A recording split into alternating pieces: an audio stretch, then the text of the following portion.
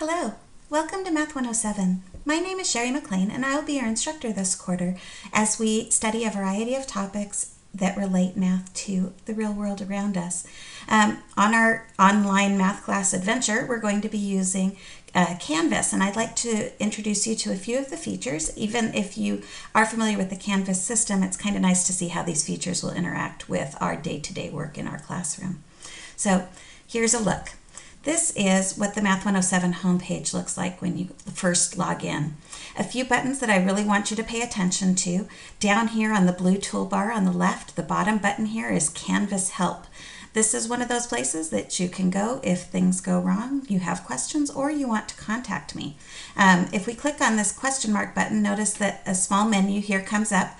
The top button here is to report a problem. What this will do is it'll take a screen capture of what you're seeing on your screen and open up a, a ticket to get help from the e-learning department here on campus. They're really great to work with and they'll get back with you on a way to try to resolve your problem.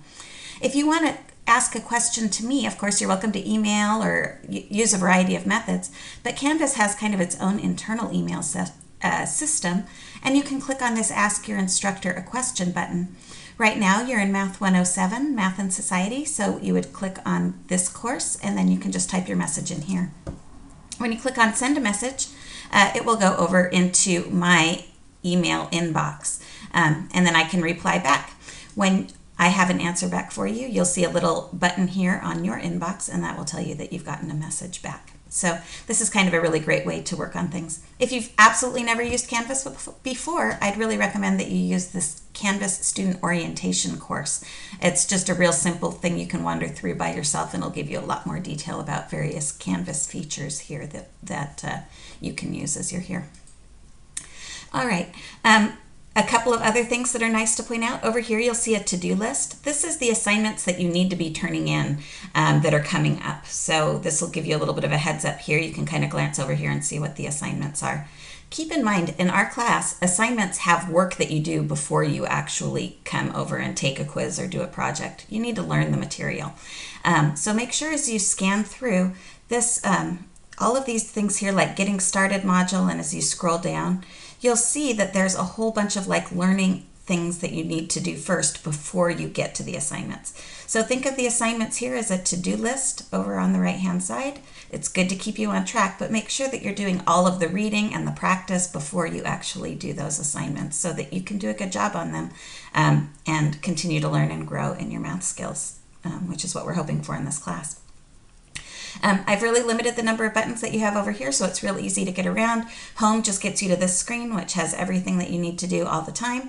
Um, the announcements periodically, I will, uh, usually about once a week or so, I will post a reminder about what's coming up, give you some a few hints and tips and tricks that you can kind of go through. So glance at this every now and then. Announcements are nice because they generally also appear in your um, actual student email, so you kind of get a, a notification that things are coming through. If you ever want to look at your grades, I do, I'm really good about keeping grades up to date here. Click on the grades button. Up here in the top right hand side, you'll see what the percentages that you're getting in the class right now.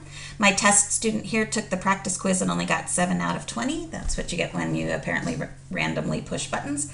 Um, so not a great score, um, but that's why this particular student's grades are so low. Um, and then you can see any of the other assignments that are coming down here.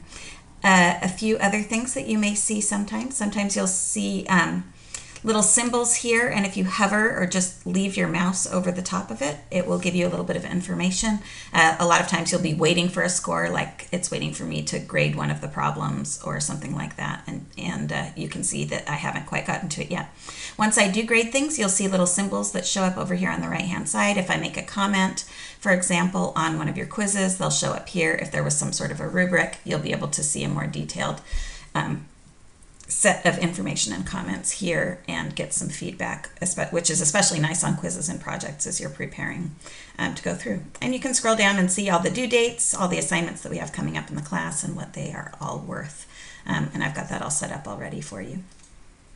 Glancing back at the home button here at the top again.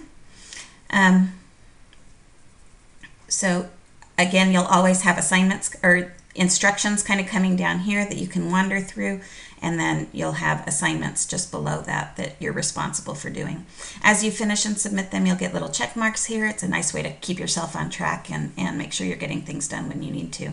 Do notice down here you see due dates for every single assignment. Um, keep track of those. Those are final due dates.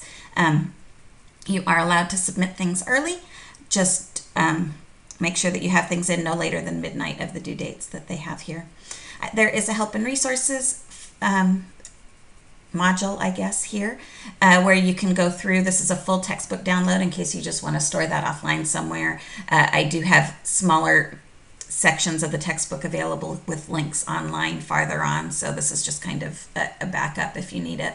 Um, where to go to help with math, so if you want some tutoring help, um, if you have technology problems or just need general support, or this is uh, a discussion board as well that you can use. Let's take a look at that so you can see what this is. This is just a general questions for Sherry discussion board.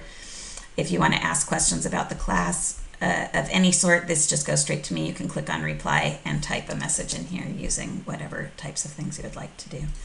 You can post the reply and then I can come back in and answer things along those lines. Uh, you will have discussion post things that you will need to do for this course.